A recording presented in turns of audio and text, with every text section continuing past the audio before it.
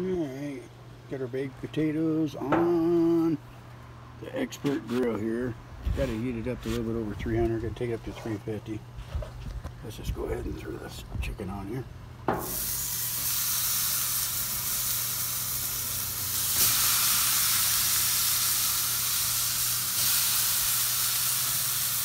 Pretty good sized pieces.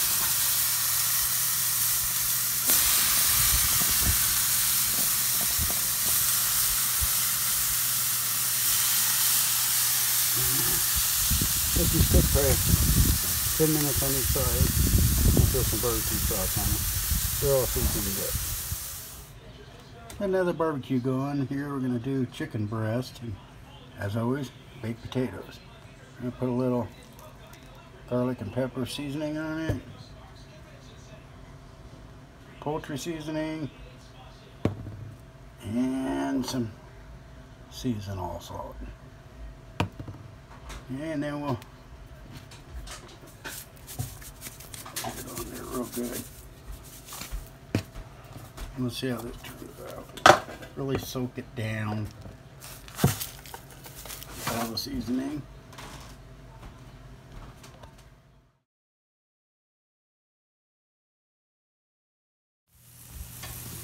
I already flipped them once. Let them cook for about 10-12 minutes. Now flipping on this side for 10 to 12 minutes here, and then I'm going to go and put the barbecue sauce. We got some barbecue sauce just set on there. Just a little bit on this side of it. Now flip it over. Get the other side in about five minutes. Let that cook for five minutes. Already basted the barbecue sauce on the other side. Got this side basted, just gonna flip it for a couple minutes. It'll all be done, the potatoes are done. It's all looking good. Alright, everything's all cooked. Is in the house, throw a little more barbecue sauce on them.